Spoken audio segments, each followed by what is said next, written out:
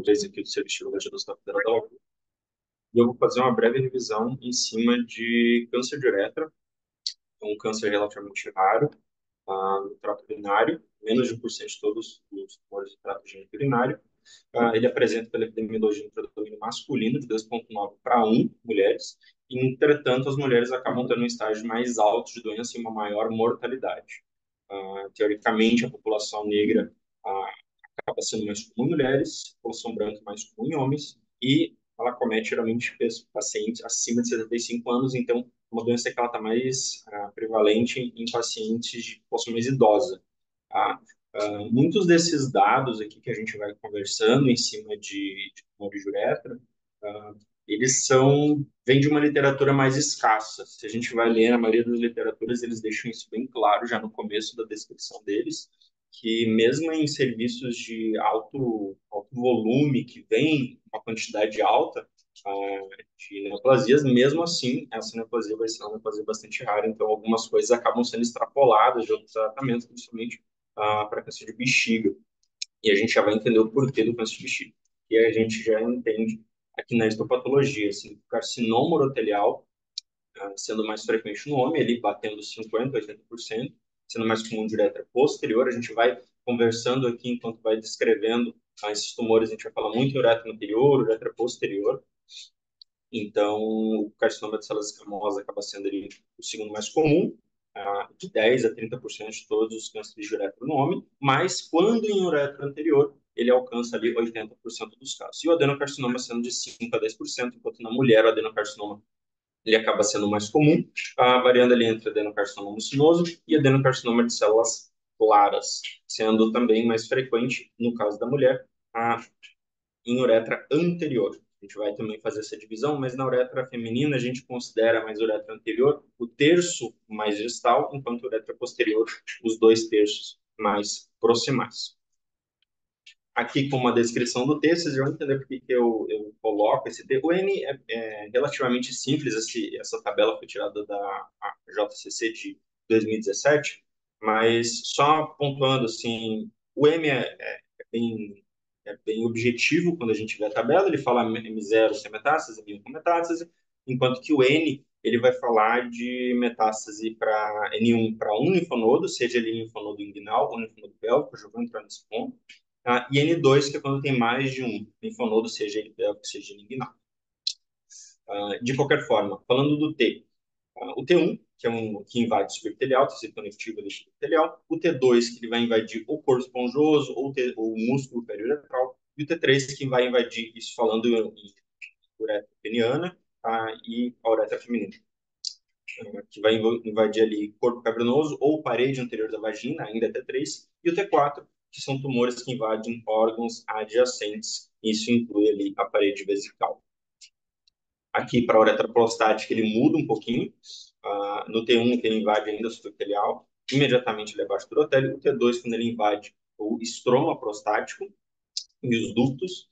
Uh, T3, quando ele invade o tecido periprostático. T4, órgãos adjacentes. T4 é mais simples. Mas por que, que eu coloquei essas tabelas aqui logo na sequência? Porque também da JCC tem essas figuras aqui que deixam isso bem mais claro. Então, agora colocando mais em figura do que em texto, fica um pouquinho mais simples de entender. O TA, aqui, bem semelhante ao que a gente vê no tumor de bexiga, que a gente apresentou na, na aula prévia, ah, mostrando ali que ele não invade tecido conectivo, o TI, que é in situ, também, só que geralmente tem a denúncia um pouco mais agressivo, o T1, que ele já invade tecido conectivo, e o T2, que ele já entra ali em camada muscular periuretral, e aqui o T3, invadindo o corpo cavernoso aqui em uretra feminina, ele é um pouquinho mais direto e é um pouquinho mais simples, acaba que a gente aproveita ah, também essa imagem tirada lá da JCC. Prosseguindo, então. Ah, depois de comentado sobre isso, a gente vai para fatores de risco. Então, a gente tem que pensar em que tipo de paciente é uma doença, como eu comentei já várias vezes, é uma doença rara. Então, a gente tem que ter uma atenção e tem que ter um alto índice de suspeição, não porque a gente vai encontrar muito, mas que é para não deixar passar nos casos raros em que a gente pode encontrar isso. Então, sempre tem que estar na nossa mente, como diz aquele velho ditado, a gente só cumprimenta as pessoas que a gente conhece, da mesma forma as doenças, a gente só vai pensar naquilo que a gente conhece, que a gente já ouviu falar, por mais que você não tenha um conhecimento aprofundado. Então, a gente tem que pensar no paciente que tem histórico de estenose uretra, pacientes com inflamação crônica que consequentemente, a gente pensa também no sinal direta como, muitas vezes, um resultado de um processo inflamatório crônico nesses pacientes. Então, pacientes que têm múltiplas DSTs, aqui destacando HPV, mas outras DSTs que podem também provocar estanose direta, que se repetem no paciente que está toda hora com algum processo inflamatório uretral.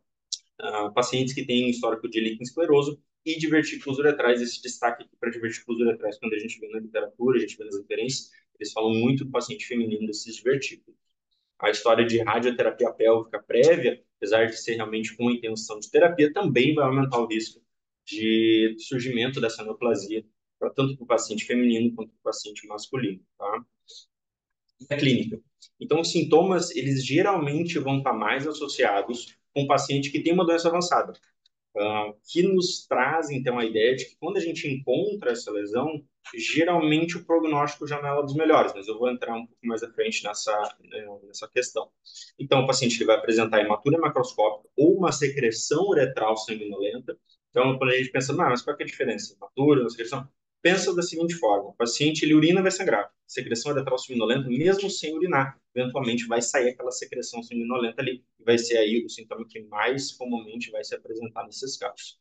Uma massa extra-uretral, isso aí a gente pode encontrar ah, no paciente já pensando no paciente mais avançado, mas também o exame físico, até do paciente que vem, por exemplo, com uma queixa de hematura, você vai fazer o exame físico desse paciente, você pode encontrar ali uma massa palpável, ah, uma obstrução infravesical, por questões óbvias, de um efeito de massa da lesão dentro da luz uretral, dor pélvica, batendo ali 33%, e aí vocês percebem como esse diagnóstico pode se tornar difícil, já que a dor pélvica ela tem inúmeras justificativas, inúmeras formas de ela, ela surgir, doenças que podem provocar essa dor pélvica. A fístula ureterocutânea, então a gente acaba tendo que fazer uma avaliação pormenorizada desse paciente com fístula exatamente para afastar, apesar de ser apresentado em apenas 10% dos pacientes, e formações de abscesso, pensando também ali num, num, paciente que complicou uma fístula ou um paciente que complicou obstrução vesical e formou eventualmente um processo infeccioso ali que gerou uma coleção. Aqui um exemplo de tumor escamoso, um paciente masculino, eretrostal, essa imagem ela foi retirada do campo, à medida que a gente avança, para diagnóstico.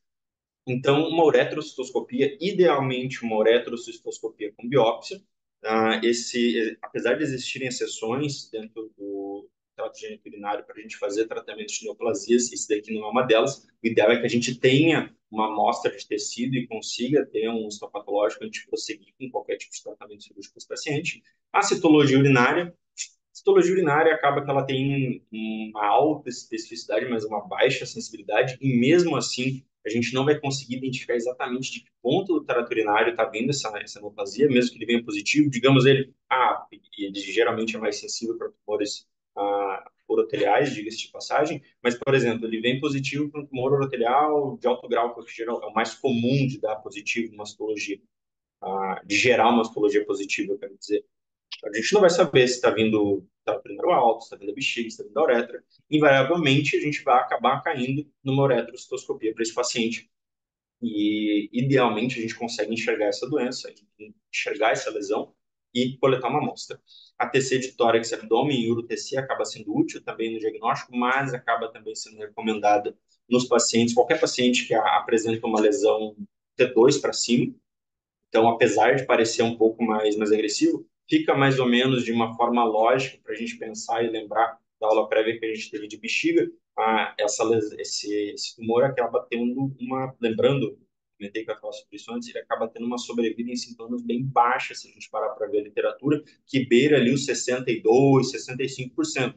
Então, pensa que faz sentido a gente ser um pouco agressivo na hora de procurar a doença avançada nesse paciente, mesmo que ah, a gente encontrou uma lesão pequena, mas na biópsia veio que está envolvendo ali um tumor, é um T2, sabe? tem que fazer uma investigação mais pormenorizada. A ressonância nuclear magnética acaba tendo muita utilidade quando a gente faz uma avaliação uh, ali local a ressonância ela acaba tendo um, um valor grande para a gente avaliar o T, além do, do, patológico, principalmente naqueles tumores que já estão mais avançados, T3, T4. Acaba sendo também, muitas vezes, um exame de diagnóstico inicial, quando a gente, às vezes, nem pensou nessa possibilidade. Tem muitos pacientes que têm histórico de fístula, que acabam fazendo ressonância para a gente conseguir enxergar o trajeto de fístula. Então, ele acaba, às vezes, identificando que tem não só a fístula, mas tem uma maçaroca ali, uma tumoração, uma massa uh, dentro da uretra do paciente, que está envolvendo outros órgãos. Aqui é exatamente esse exemplo, é uma ressonância magnética, essa imagem também ela foi extraída do campo, a última edição, ali na uretra, na uretra posterior, ali no sinal da seta, essa seta preta que mostra tumoração no paciente. E prognóstico reservado, como eu já comentei com vocês. O manejo da, da doença localizada ali de uretra distal para homens tumores distais T2 ou menor vai ser uma penectomia parcial, uh, realmente bem agressivo, pensando em questão de tratamento, mas melhor um tratamento agressivo resolve, de qualquer forma. Uh, tumores proximais acaba levando a uma penectomia, penectomia total. Mulher, uma excisão circunferencial da uretra com inclusão de parede vaginal anterior. E aí vocês pensam assim, poxa, a ideia é realmente tirar a uretra inteira. Ah, pense da forma que a gente vai, muitas vezes, ter que fazer algum tipo de derivação nesse paciente. Então, no caso dos pacientes que a gente preserva ali a bexiga, a gente pode fazer uma cistostomia e outros tipos de derivação. O controle nodal, a recomendação geralmente acaba caindo como radioterapia, cirurgia ou químio, uh, ou eventualmente até a combinação uh, dessas terapias. Tá? Lembrando da, da questão nodal, que eu acabei não comentando, uretra, geralmente a uretra distal, aquele um terço na mulher, ou a uretra anterior do homem, ele vai ter uma drenagem linfonodal para a inguinal, enquanto que a uretra posterior ou uretra proximal, dois terços proximais da uretra feminina, vão ter uma drenagem mais ali para a pelve mesmo, é o verdadeiro. Enquanto que na doença avançada, a terapia acaba sendo multimodal, quando a gente vê na literatura, eles comentam idealmente uma combinação de quimio, rádio e cirurgia, a cistectomia radical, componectomia radical, linfadenectomia pélvica no homem e a exanteração pélvica anterior na mulher, como eu havia comentado com todo mundo, uma doença de baixa, relativamente baixa sobrevida nos primeiros cinco anos de diagnóstico, né? Ah, então, isso também justifica uma, uma tentativa e uma ideia de um tratamento mais agressivo naqueles pacientes que a gente percebe que ele ainda não tem doença avançada ou doença à distância que é passível de um tratamento. Aqui é uma imagem que ela foi extraída do Campbell também, seu espécime cirúrgico. Então, até para ilustrar assim, o quanto que a gente tira desse paciente. Aqui penectomia tal, masticureta, lectivo. E aqui as minhas referências. Então, é o 2024, o Campbell e o Uramet. Foi, graças a Deus, excelente.